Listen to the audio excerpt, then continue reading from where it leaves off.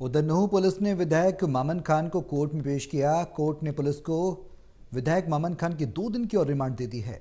दरअसल मुकदमा नंबर एक सौ सैंतीस में तीन दिन की रिमांड पुलिस ने कोर्ट से मांगी थी, लेकिन कोर्ट ने पुलिस को दो दिन की रिमांड दी, जिसमें अब पुलिस कई अहम सबूत जुटाने की बात कर रही है। तो वहीं आरोपियों की भी पहचान करने की भी पुलिस कोशिश करेगी। वहीं दूसरी तरफ़ विधायक मामन खान के वकीलों का कहना है कि विधायक मामन खान को पुलिस बेवजह फंसाने की कोशिश कर रही है।